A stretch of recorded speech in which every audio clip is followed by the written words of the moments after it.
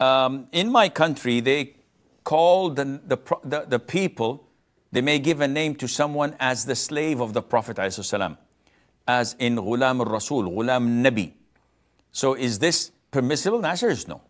This is extreme, and the Prophet ﷺ hated it when he entered the room and the companions stood up.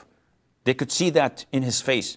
He would never allow such quote uh, uh, uh, unquote um, uh, form of respect, let alone to be called the slave of the Prophet. We are the slaves of Allah only, so it's not permissible to use such a description. As